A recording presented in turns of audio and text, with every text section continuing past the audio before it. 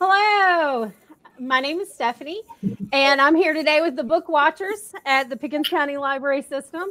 Um, and I'll just let you all introduce yourselves. Let's go. My right. No. Okay. Beth. That doesn't make any sense. How about? Hi, my name is Beth. I work at the Captain Kimberly Hampton Memorial Library. I run the House Calls program, and I'm going to talk about this book today. okay, and Jennifer. Hi, I'm Jennifer. I'm Jennifer Crenshaw. I'm the branch manager at the Central Clemson branch, and um, we've already done this book in our book club here at the branch, and we really all enjoyed it. So I hope we'll have a really great discussion today. Awesome. And I'm Margaret, branch manager at the Village Branch Library in Pickens. All right. Center Square. Um, to whom? I I am Ethan. I uh, I'm the reference assistant at the Liberty Branch. Hey, and I'm Caroline, and I work at Circulation in Easley. All right, and we are here today to talk about Fahrenheit 451. Um, for those who maybe haven't read it yet, um, just so you know, it's about Guy Montag. He's a fireman, but not not what we think of today as a fireman. Instead of putting out fires, his job is to destroy um, the illegal commodities, the printed book, along with houses in which they are hidden. Um, he never questions the destruction and ruin of his, and ruin of his actions produced. Uh, until one day he starts uh, after meeting Clarice. Who, Hello, Clarice. That's all that's in my head every time I hear. um, Clarice um, makes him think about why he's doing what he's doing. So let's just kind of get into it. Uh, in addition to the book, which was written in the 50s by Ray Bradbury, um, we actually had two movies. The, one, the first one was done in 66, and then the most recent one was Michael B. Jordan in 2018. Yes. um, so, how did y'all like the book? Uh, did it keep you engaged? Bueller. More so Absolutely. than the movie. I think the most amazing thing yeah. for this book is how current it feels.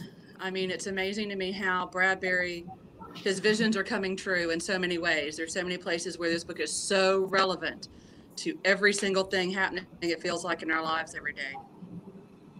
I totally agree. Which is scary, right? Because it's science fiction. Right it's science fiction written in the 50s, but yet still. Um, and he does, he mentions all the wars in 2022. like one little brief thing. and the book is like, oh I was like, yikes. Um, like what do you, what do you call them? Atomic wars? This is the second time I've read this book, and it did keep my attention the whole time, even though it was a reread, which I think is an accomplishment in and of itself. Um, one of the things, uh, why do you think in the very beginning Clarice brings up a um, a uh, she says that her somebody was arrested for being a pedestrian.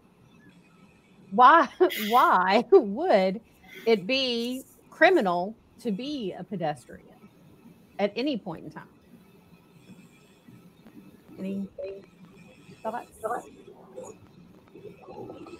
Don't jump in all at once.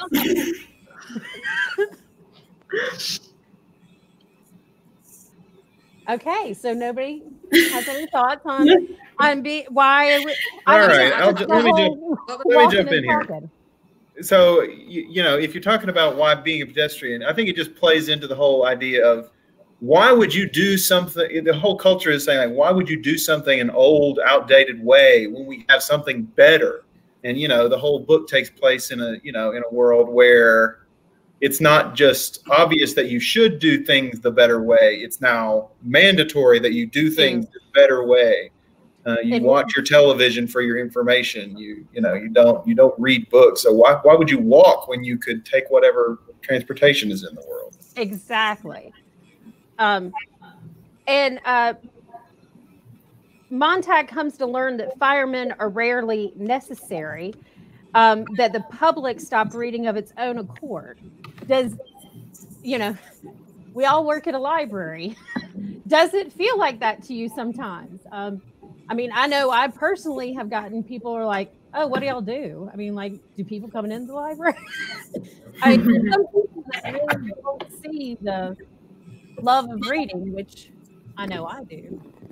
It's like that part in Parks and Rec when she's like, oh, your job is, you know, the internet does your job. I've gotten that before, but I don't think people are not reading.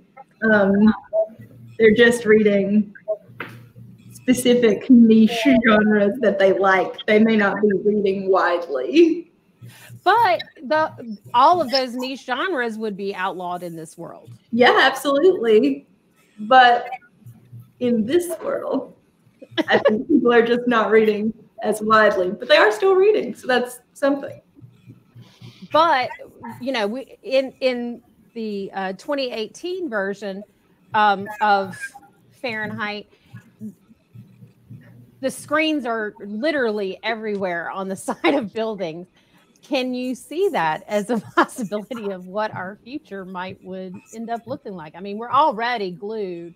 I, I mean, I know I wish I wasn't, but I know that I routinely have my phone in my hand, even if I'm not 100% paying attention to it.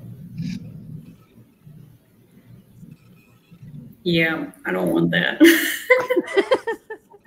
I mean, look at Times Square. It's already kind of like that. So that, but way more intense. And there are, I mean, there are people who advocate for this because there's like the post-human theory and the post-human movement and transhumanism, which is all about how we will move beyond our human bodies and become robots. So there are people who would live in this society, and those people are not me. I don't want to be a robot. No, I don't want right. to be a robot either. Hot take. What we're saying, Jennifer? Getting bigger and bigger. Yeah. Um, I, I thought it was kind of. Um, I was just saying telling, that's where we are headed. I mean, are people that do see that as advanced? Yeah, absolutely. Yeah. I'm interested in hearing from anyone who wants that if they're in the comments. I kind of feel like, in a weird way, COVID has kind of even moved that a little bit forward because everything is virtual now. Oh yeah. So we're kind of virtually interacting so we're we're not really with each other. So it's almost like when Mildred was watching talking to her family and they were having those conversations on TV in which um, she thought she was a part of it, but she's very clearly not. It kind of feels like that's a little bit of what we're doing now to me, like with all the, you know, virtual aspect. Does it with anybody else? Yeah, it's begun. um, what do y'all really think was the main thing that caused Guy to start questioning his fireman um, job, his job, his life, his vocation?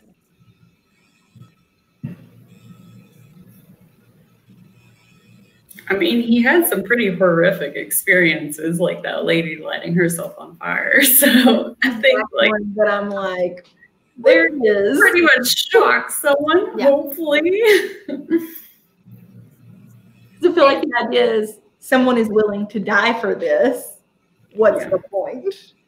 And I feel like that's enough for someone to question their life goals well, but see, it, it was uh, it was alarming to me that it also it had become so unfeeling, and almost took me back to my my nonfiction read for for when you're try, trying to take the cult where they're taking all of the emotion out of life because we're just happy. We're happy, everything's perfect so even when somebody dies, let's just move on, burn them down, let's keep going, get married again. You know, it, it's it's kind of the way that it, was alarming, and it. But I, I still feel like it kind of goes with that. You know, the removing books in which you think you you you are escaping somewhere else, you're experiencing something else. Um, you're also just not feeling anything else. I don't know. It sounds like what you're saying is that by removing I think that's exactly it. We're numb. Yes, yeah. numb. When you remove fiction and you remove experiences outside of your own, you remove the ability to be empathetic to situations unlike your own. And so removing empathy from the human condition, what does it do? Yeah. The answer is not anything good. not anything good. Nothing good at all. Um, Betty Beatty was actually very well read. What did y'all think about that? I mean, like he was quoting um, various works of various works, whether fiction, nonfiction, just mm-hmm. everything. And for to be able to quote that like that, that means you had to have spent time with it.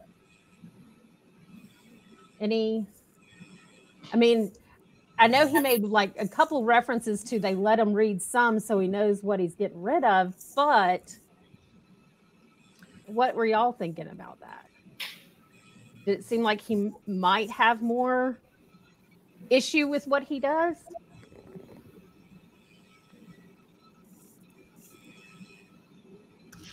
So one of the things that was I read some reviews of the movies after I watched them so I would know what the response was. And one of the responses about the 2018 version was that even though it was visually really stunning, it failed to capture the sort of power dynamics in the original book. And I think this is one of those where like yeah, you're by not making him as well read, you're ignoring the fact that the power is top down. So he has that knowledge because he is in a position of power, and that's what allows him to be well read.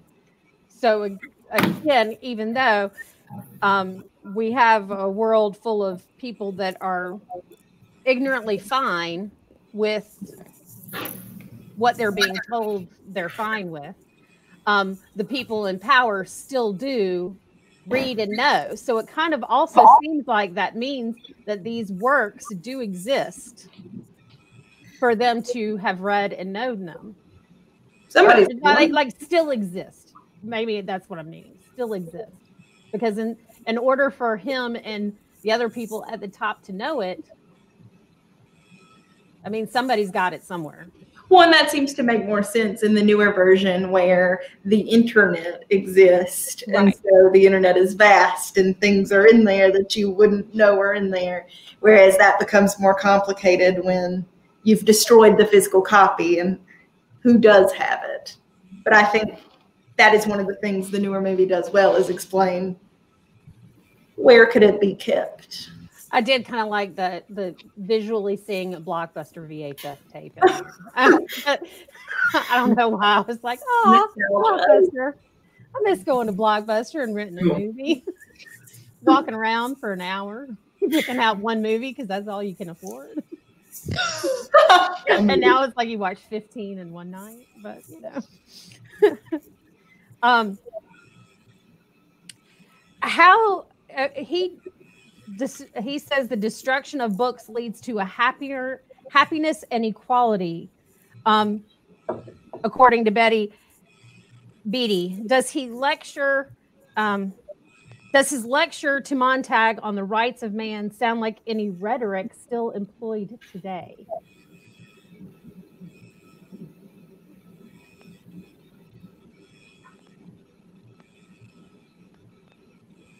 I mean, absolutely, I, and there is some validity to it. I mean, if people aren't arguing, they get busy, and that's it. It keeps you distracted and busy with all these things, and you don't have time to question. That's one of the things that reading requires, or maybe not reading, but understanding. You have to have time to think about and process what you've read. It's not just you're taking in information. You have to be able to do something with it. There is a part in the book where it talked about the three things that were missing um, in their information and their knowledge, and that one of them was quality. It wasn't fresh. It didn't have pores and texture and depth. It was, you know, Barbie doll versus a real face. Um, you know, it's had lipstick put on it and smacked over and, you know, dumbed down rather than being something you could chew on and ponder on and, you know, work with. Um, it was like a tree without roots is sort of the other thing they kind of compared it to. Oh, yeah. That it's, you know, either rooted in something real and true, but that's more complicated than just something without roots and just floating there, you know, just to be picked. Um, but the three things he talked about being missing was quality, the leisure time. You know, you have to have time to really ponder it and think about it, and then um, being a, capable of doing something with it, make, putting it into action, using your knowledge. And I think that's where we're really running into a lot of trouble now. Everybody has opinions, but nobody's listening. There's a lot of talking, but there's not as much listening going on right now. Yeah, it's not a dialogue. It's not a we're having a conversation to find out where the other is no. coming from. It's a I'm going to just yell at you my opinion and facts, and you're wrong. and all uh, basically an all or nothing situation, kind of like this. This is the rule, and that's what it is. Um, yeah. How do we prevent that? how, how do we, as information professionals, help restore that? Any suggestions? I think um, thinking about it as like a, a, big complaint of a guy in the 1950s, the book is just a big reaction to television coming along. And it's, you know, it's sort of his curmudgeonly, angry letter to, you know, television. Um, and I think in the turn of the century, you know, people complained about people reading novels and newspapers too much. So I think whenever new medium, new media comes along, there's always this reaction to it that's like, oh my gosh, we gotta gotta either stop this or rewind the clock or put the stuff back in Pandora's box. But you know, like you can't. You just have to learn how to live with it appropriately. Um, like like we learned to live with novels and like we semi learned to live with TV and now we're dealing with social media and the internet age and we, we have to as a people learn how to deal with it in ways that we get the benefits out of it but we also you know use it responsibly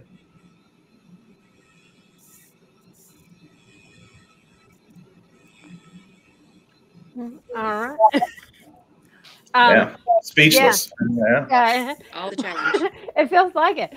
Um, if anybody's watching, if you have any questions or thoughts, please feel free to chime in on on uh, in the comments section, and we can we can ask your question or uh, listen to your thoughts on something. Um, what do you, what were your thoughts on why the the movie it, the the book Clarice just dies fictionally off camera or you know out of book not there's no camera in the book.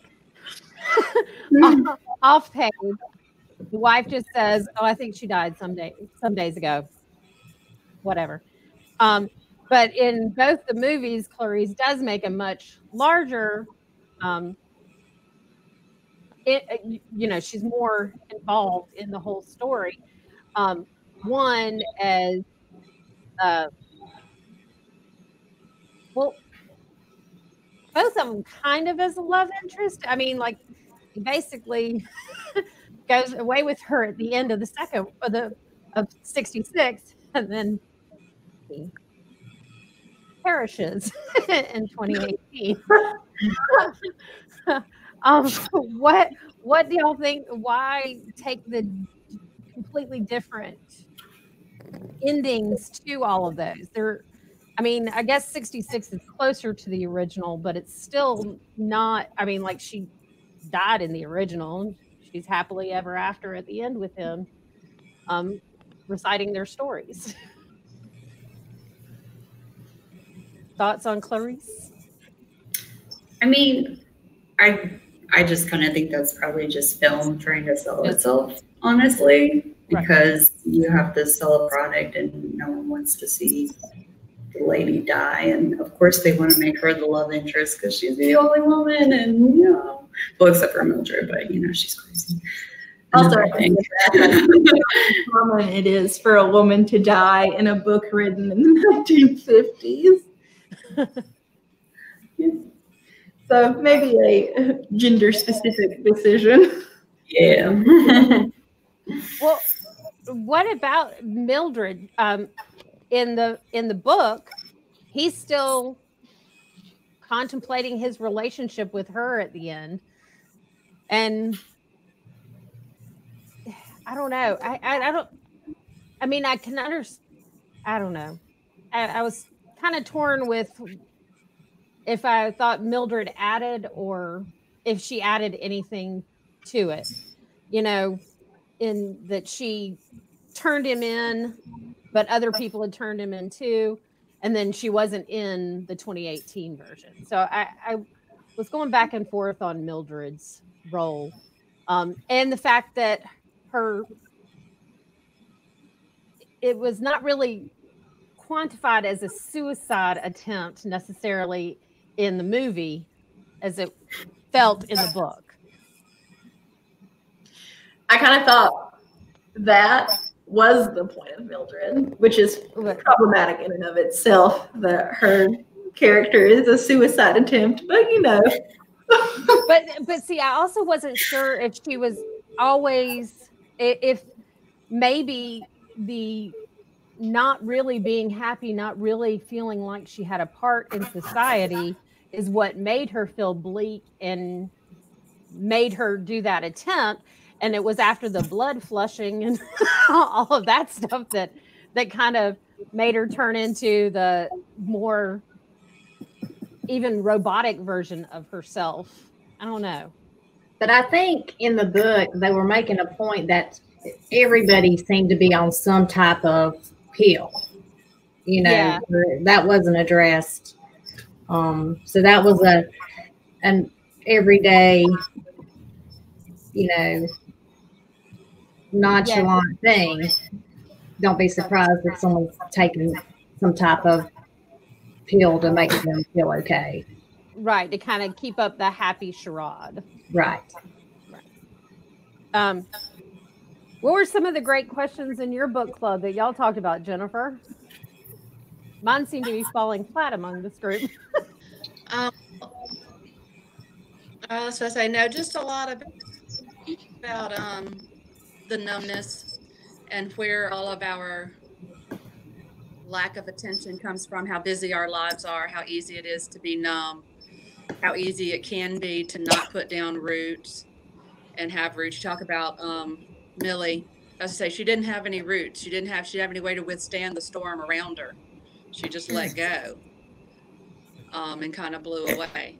Um, several of the things I had looked at in the book too. Let's see. Da, da, da. One of the quotes and passages I really liked from the book in my version, this version, was on page 115 where it talks about what is there about fire that is so lovely? Because no matter what age we are what draws us to it um, and it's perpetual motion the thing man wanted to invent but never did or almost perpetual motion. If you let it go on it burns our lifetimes out um, you know it's just sort of that ethereal reaching for it it's always that metaphor for the grasping you know what's out there beyond us that we're always looking for too. Um, I thought the book never, you know, really went into sort of who was puppet master at the top. You know, we talked about it, yeah. Just, we alluded to it, but there's never any real definition of who Big Brother in this case is. Um, and I wonder at some point if it doesn't sort of mean that, that it's just gotten beyond and it's sort of now its own monster. Um, you think about AI and things like that, you know, at some point we kind of run ourselves into the ground and, you know, it's relevant um, to the point where we may not need ourselves at some point. We are talking about, what was it, Beth, you said the, um, the transhuman. Yeah, and there's the, this thing called the, kind of, the um, singularity. Have you guys heard anything about that? It reminds me of this, where it's like the singularity is coming, and that's basically like when we'll create robots that will destroy the human race. But I mean, we currently have social media platforms that are listening and and alerting us to things we did and did not want to know by or think. Um, you know, uh, my sister mentioned a hotel the other day, and all of a sudden she started getting some ads for that hotel popping up. She didn't search it anywhere. She really only talked about it in person and within moments. So, you know, um, have y'all I haven't watched it. Elizabeth watched the um, social media thing on Netflix and just oh, how those, dilemma? yes, that yeah. that um, just how it, it, you know, that is already thinking for us, kind of like what you were saying, Jennifer, where it's kind of beyond just somebody who's coming up with this the computers and the algorithms, yes, somebody did come up with those, but it's kind of taken a life on its own, it feels like. Anybody?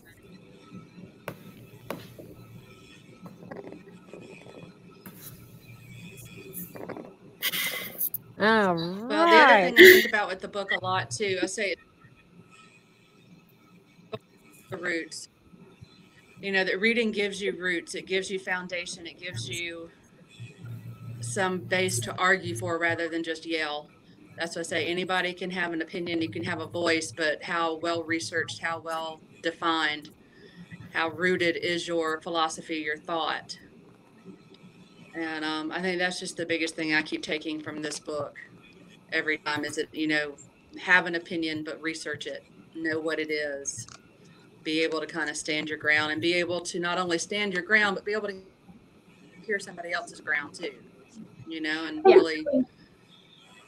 I worry about our level of tolerance these days. That's a value that I think is rapidly diminishing. Um, I think social media has made it very easy for people to go, I don't agree with you, therefore you don't exist. I'm unfriending you. Bam, you're gone.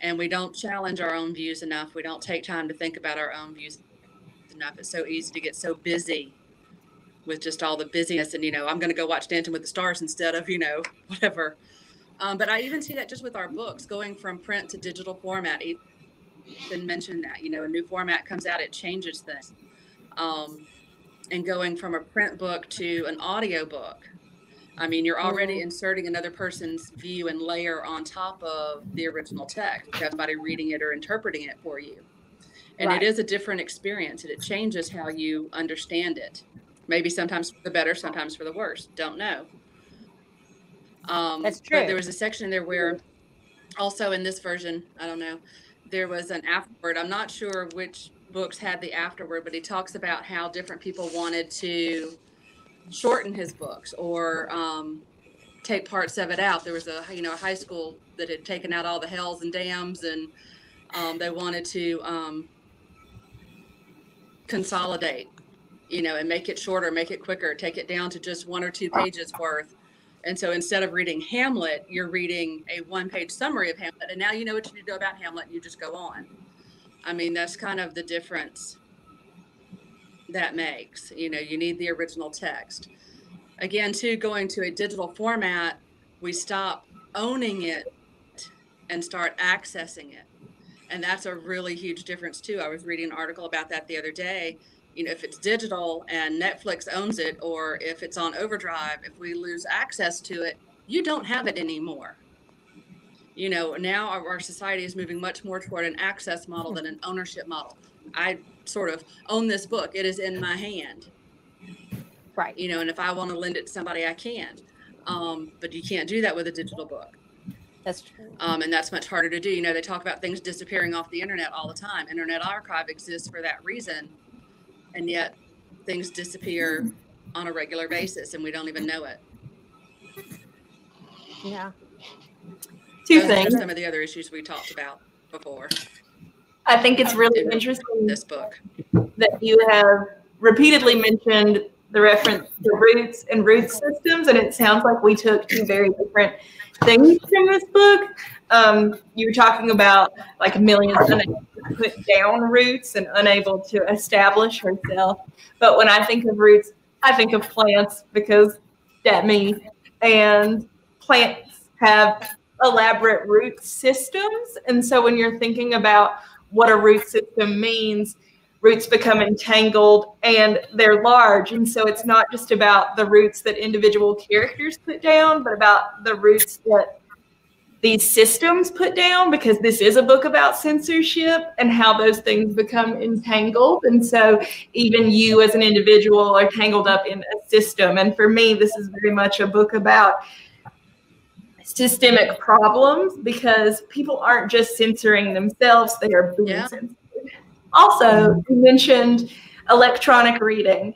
And I just wanted to say that I once read a study that talked about when you read online versus when you read in print, you read differently. And when you read online, you're more prone to what's called F shaped reading, which is where you just read like the top two lines of text and then skim the rest. So as we're transitioning to digital reading, we are transitioning to a format that makes it easier for us to engage lips, which is, I think, a large part of this narrative also. Wow.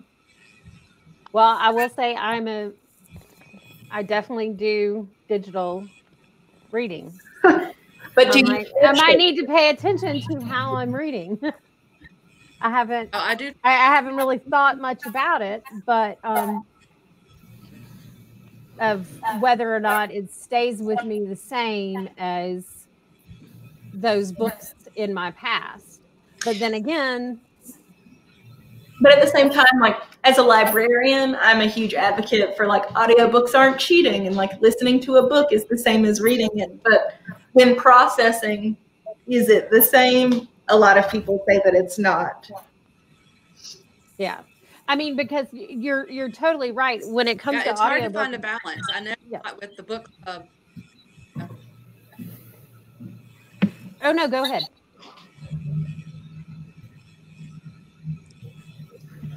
Go ahead. No, I was just going to say, I completely agree. I am a huge audiobook listener. And that's one of the reasons I sort of feel like I can tell a difference between the two. Occasionally, there are some that I just can't listen to. I just have to, some you have to read. It just depends on the kind of book it is. Did everyone read this? Or did anyone listen to it at all? I listened to it. Okay, Margaret, tell me about that. Well, like um, Jennifer, I am a huge audio person and um and just for time wise it was just more convenient for me to listen to it and and it, the narrator was great. So narrator makes it. Did you yeah. do the, the tim robbins? I did it through audio um yeah. i'm not sure yeah. who was i think it was tim because i basically um i did half and half because I, I ended up needing to do something with my hands. So, so that's the reason why. And, and it's like I would look, I was looking down at my hands, so I was like, I've got to listen to it because otherwise, um, but but I, I liked him. But you're you're right. You also, you know, he made voices when he talked to certain people mm-hmm. as as Mildred's friends. He was like, you're awful and I hate you and I won't ever come in your house again. you know, I mean, like he did the voices. So even if you weren't going to read it that way, that's, you know, how you read it. Um, uh, here we have uh, Stephanie says, uh, I tend to retain more of a book's information and remember more when I listen to audiobooks. Um, but yes, the reader makes a huge difference. Yes. Um, Jennifer uh, alerted us to the fact that uh, Fahrenheit 451, since it was the anniversary, there was the the multi readers, Neil Gaiman. Um, my mind completely blanked on everybody else. Did anybody listen to that that that version that came that was in that was in August? I did not. I should have. Regrets.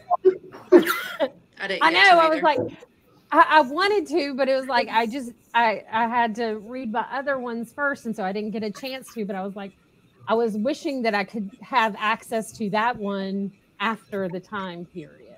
Did everybody watch? Did anybody watch either of the movies? Yes. I watched both. Caroline, Michael Jordan, but not the first one. but not the first one. Okay, Stephanie, which one did you like more?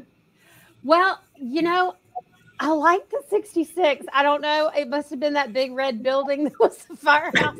It almost, it almost looked like a drawing of a building that they were driving out of.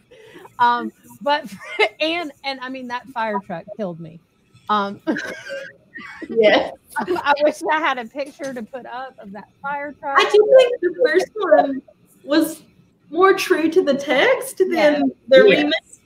Um, I had a lot of questions about the remake. So, Caroline, what did you think of it? Tell me. Oh, it was like super boring. And Oh, you really didn't like it. Why? I just lost interest. I thought surely I could look at Michael B. Jordan for two hours, but I could not. he did not save it. I don't think it's boring, but did you notice there's a like the firemen? I know firemen, but like I thought maybe there would be firewomen in the new version. Yeah. There were no fire women, firemen, and it, it was like a very hyper masculine fireman fight club sort of Uh. Yes. yeah. and I was like, this is wild. And that was the opening scene. Like Yeah. it felt weird that that was the opening scene. Is the, Yeah. And I noticed that they did this thing, and guys, it's wild. They're the firemen are like celebrities. yeah. So it's Yeah, like Instagram stars, Yeah, like it capitalizes on the influencers. YouTube star and like the Instagram influencer And and it like kind of follows. I mean, like Yeah. if, if you know, if Mildred was loving her family, it makes sense that people would. Mhm. yeah. you know, I mean, But I thought I just thought like bringing celebrity culture into a narrative like this is so interesting, especially because that's not in the original version at all. That's entirely new. yeah, And I like think they were trying to make it more modern, honestly, to appeal to a more modern audience. And I- yeah, I think if you're going to bring in like a social media aspect, which they did, you sort of have to bring in the celebrity culture because that's one of the things about social media is that like it makes celebrity culture more accessible. And so, like, when we make these beacons of censorship more accessible and they become famous, what does that mean for the works they are destroying? Which should be famous. It was very interesting to me. But overall, I thought that the newer movie was disconnected from the original text in a way that I was like, all right. Eh, yeah, and um, for those of you that didn't, i instead of just the people memorizing all the text, apparently birds Yeah. were. Yes. what happened at the end with the bird? the, I don't know. birds, the birds had, were implanted with. the Birds aren't real.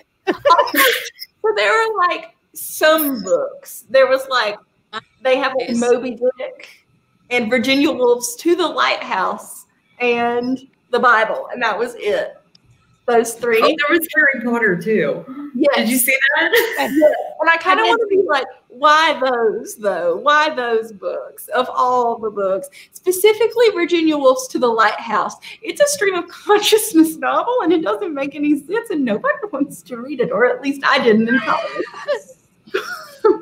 so I mean, all the bad books. that was an interesting choice. All right.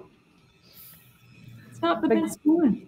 But yeah, I didn't, I didn't understand the birds at the end. That is a me opinion, not like a everyone opinion. There are probably people in here oh wait, also who love Virginia Woolf. he died at the end of the movie. Yeah. Mhm. Yes. Yeah, I just remember that.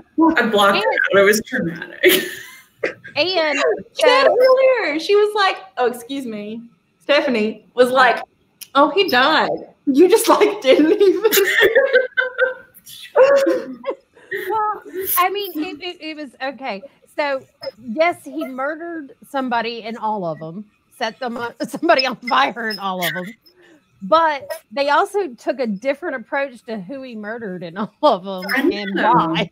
like all of them were, you know, yeah.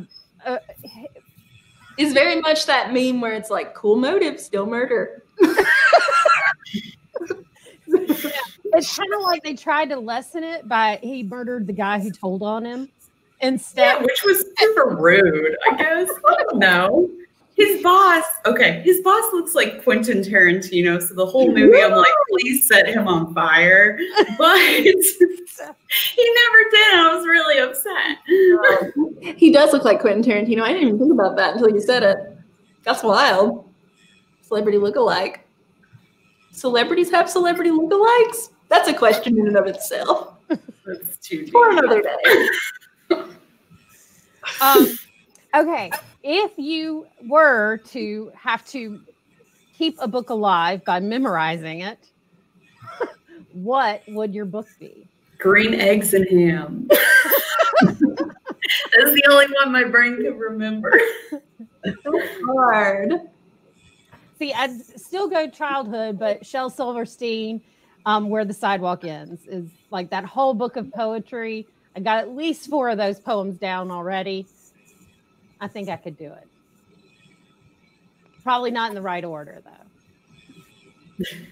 I don't know if I can do this. I feel like if you gave me like a genre, I can tell you like this is genre that I would memorize. But like I can't just pick one, and it wouldn't make sense to pick something within a series because I'd be like, "Who's Harry Potter? And what happened to the rest of the story?"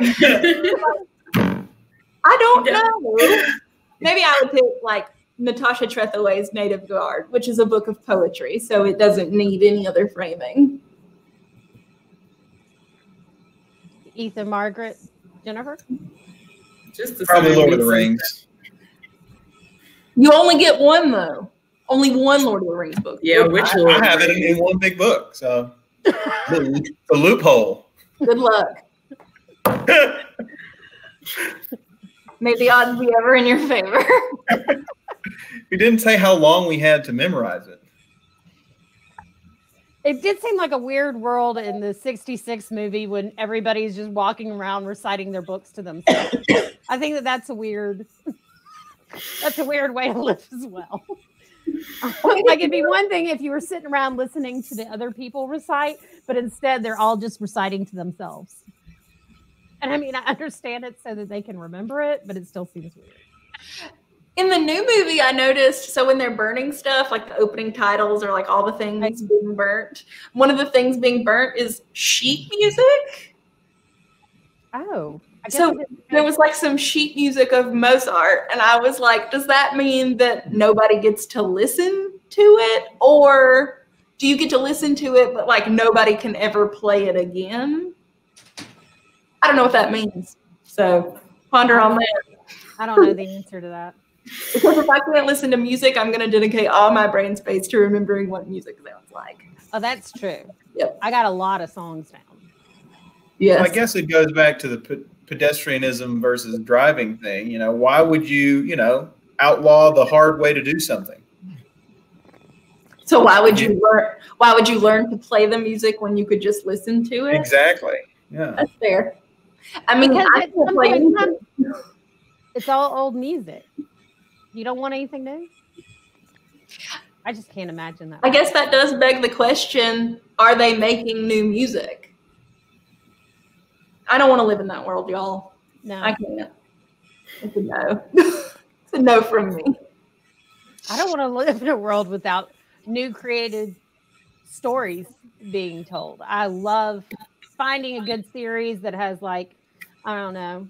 Uh, I love a series because I love to really get invested with people, and characters, and places. I love that's, it. I mean, that's a big mood. Absolutely. What about you, Jennifer? What book would you uh, memorize? I don't know. We were talking. You're talking about discovering new things. Sometimes I feel like it gets harder and harder for me to get surprised. So mm-hmm. anything that surprises me, sticks a little harder. Um, and I do do a lot of listening. We talked some of this about Harry Potter. I can't imagine Harry Potter without Jim Dale. I mean, that's just there's no way. And I have to say, I was absolutely terrified he was going to get hit by a bus or something before we got to 2020 um, could happen. So I'm very grateful he made it. a lot of the things I do now here because I did hear them, and so it would be easier for me to memorize Harry Potter because I can hear Jim doing it in my head. I can hear the Hunger Games in my head. Um, and what's really awful is when they switch narrators on you in the middle of a series. That absolutely tears my nerves out. Yeah. Yes. That is start hearing that one voice and it changes. Um, I don't know. I have no idea what book I would choose. There are lots I can give you the first lines from, but beyond that, I don't know. what about you, um, Margaret? I don't know. Um, Beth and I were quoting Jane Eyre the other week. I was literally about to be like, I know what you're thinking of. Me, I think the Christmas Carol, Charles Dickens, because there's so many different versions of that. So that's a good one. That's a, I love. Speaking of the Christmas Carol, I don't know what's coming. well, I was uh, for for Book Watchers December. I was thinking holiday favorites of um, oh, I'm not going to memorize the whole thing. We're going to listen as Margaret recite. Margaret is going to recite a Christmas carol all the way through. Ethan is going to act it out while she's. I think that sounds like a good option. Yes. I, That's I, it. That's the plan. Tune in, everyone. Surprise. um, um, Oh, let's see. Um,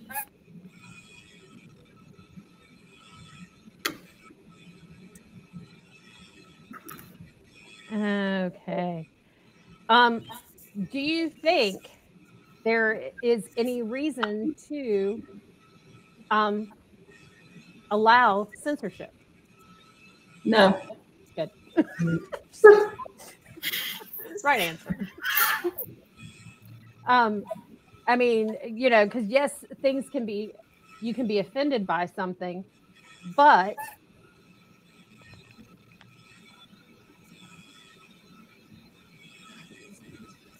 so what? Sometimes a fine line in like so what? censorship. What'd you say? What did you say, Jennifer? I said sometimes in the library world, it is a fine line between censorship and selection. In some ways, we censor our collections all the time because we're selecting and choosing what to put in there and what not to. I mean, we make those decisions every day as buyers. I'm going to buy this one and not that one. We've already got four of these. I don't need this one. You know, and nobody is reading this, so I'm not going to put it out there. But there is a difference in saying we already have four of these and like I don't agree with it. Yeah. Sure. But I mean, it it does come into play that there are certain times that I'm like, eh, I really hate this book. I don't want to buy it. I'm only buying or, or I don't like that author. but I know everybody else likes it, so mm-hmm. I'm gonna do it anyway. So it's uh, my opinion of it doesn't really matter. um, I just have to um, suck it up. Yeah. Well, also for y'all out there who are in the library world, we don't just get to buy the things we like. I have to buy things that I'm like, I don't know anything about that. And I have to read on the internet to figure out what's popular. Because I've never read a Western, I don't think. I'm doing my best, y'all.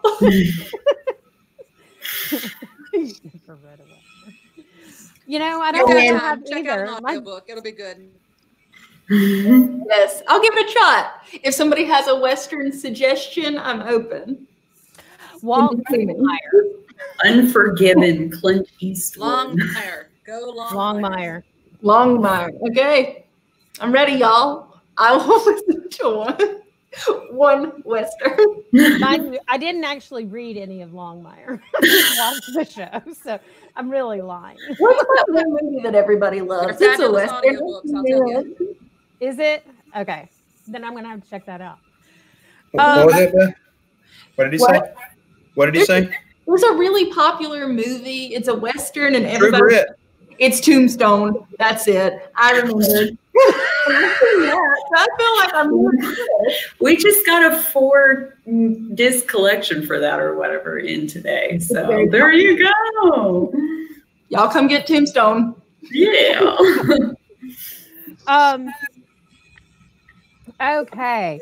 Well, um, in wrapping up, uh, I did want to mention that our um, Halloween scary read for October is going to be the Shirley Jackson, the house, the haunting on, of Hill House. Um, it's gonna be good. Show up, y'all! I'm excited. Um, and with this one, you have three options. yes, we have. Uh, this one is looks super scary. Um, the haunting. I mean, the lady looks just petrified. Um, that movie, and that's. I believe that that's in the they're from the 60s. Mm-hmm. The, um, and then the 90s version of The Haunting and the current. Um, this one is on Netflix, and we just got this into the system. Um, and this one is series. So I don't know how, you know. They are not doing a second season of The Haunting of Hill House. The second season is going to be it's going to be a version of Henry James Turn of the Screw. So they're not doing. Oh, so it's kind of like a different. Um, so y'all don't get to kind of. Yes. Okay. okay. All right. Um, so thank you all for the, joining us uh, for Book Watchers. Um, and Stephanie, I have suggestions. Do you oh, that's right. That's right. The comments. Best bookshelf.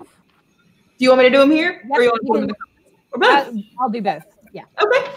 Um, so if you liked this book because it is a classic, I would recommend you read Brave New World by Aldous Huxley. It's very much the same, and it has the same sort of thing that Jennifer was talking about with things coming to fruition.